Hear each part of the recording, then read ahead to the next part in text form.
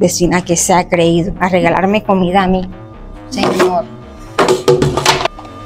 Ay, Dios mío, qué día tan cansón. Y pensar que me toca llegar a cocinar. Parece que ahí viene la vecina. Voy a recibirla. Bessie, espérame un momento. Ay, Bessie, mire, ve. Como yo sé que usted trabaja tanto, aquí le guardé este poquito de comida. Me imagino que viene muy fatigada y no tiene cabeza para cocinar. Ay, vecina, no debió molestarse. Muchas gracias. ¿Y qué cocinó? Bessie, hice lo que más le gusta. Pescadito frito con arrocito, guacamole. Bien rico que está Bessie, que ojalá y lo disfruto yo. Gracias, Bessie. Usted siempre tan amable. Bueno, Bessie, hablamos. Esta vecina como que piensa que yo ando muy muerta de hambre. A guardarme almuerzo, mejor dicho. Y que yo estuviera tan necesitada. Y pescado, yo que ni como esto. Mami, ya llegaste, ¿qué traiste ahí?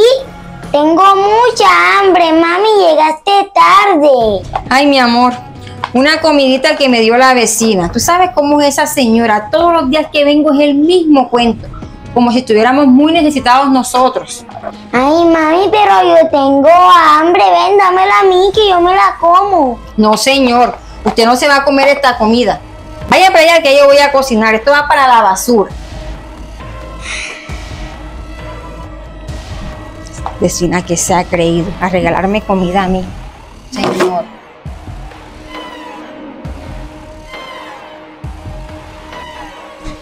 Mami, ¿por qué hiciste eso?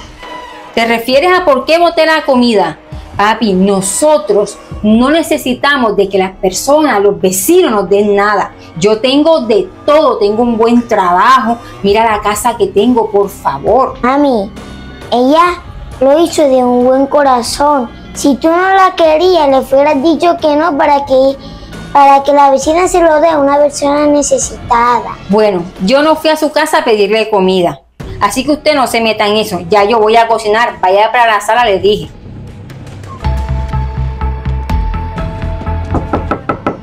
¿Será que la vecina no ha llegado?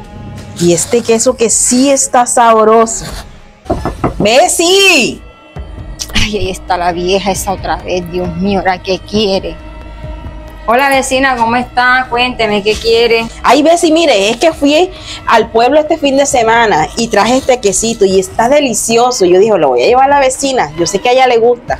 Ay, vecina, pero ¿para qué se molestó? Si yo precisamente compré un kilo hoy, se hubiese quedado con él, yo tengo en la nevera. Ay, vecina, pero no se preocupe que eso no sobra. Ah, bueno. Tranquila. Muchas Ahí gracias, está ese quesito, se lo come. Gracias. Tira, vecina, no le dé más nada a mi mamá. Todo lo que usted le da lo bota a la basura. Vecina, ¿cómo así? El niño acaso está diciendo la verdad. Porque el niño dice que usted vota todo lo que yo le doy. Ay, Bessie, usted no sabe con cuánto cariño yo le doy las cosas a usted. De verdad que uno a veces peca por ser demasiado bueno. Uno no puede ser más bueno que Dios. Luis Antonio, ¿por qué le dijiste eso a la vecina?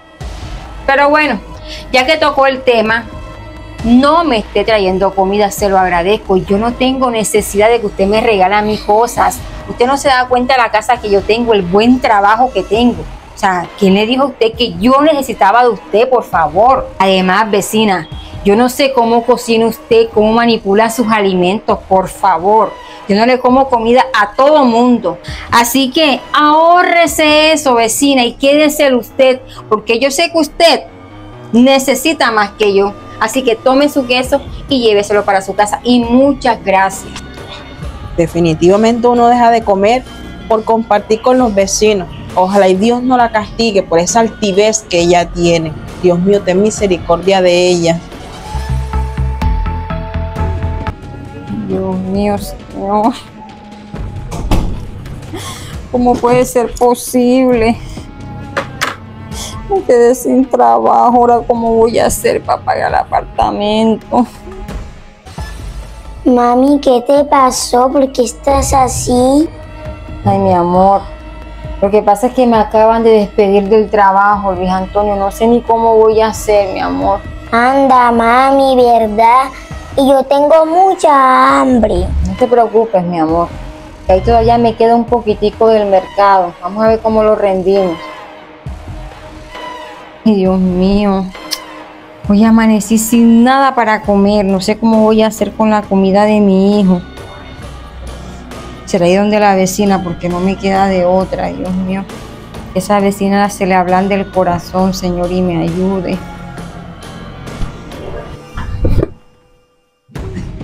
Está la vecina. Vecina, quiero hablar con usted una cosita. Ajá, vecina, ¿qué se le ofrece? ¿En qué le puedo servir?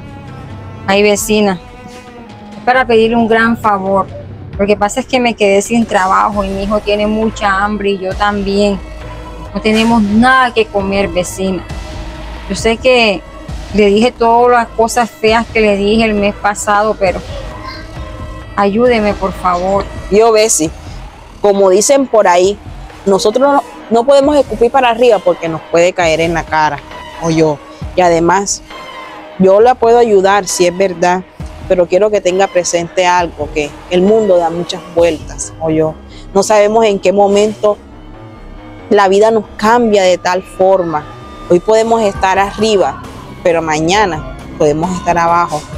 De un abrir y cerrar de ojos, podemos perder todo lo que hemos construido, todo ese imperio que nos fortalece y que nos hace ser una persona altiva, una persona que engreída, que aparentemente no necesitamos de los demás. Ese imperio se cae como un castillito de naipes. Vecina, muchas gracias.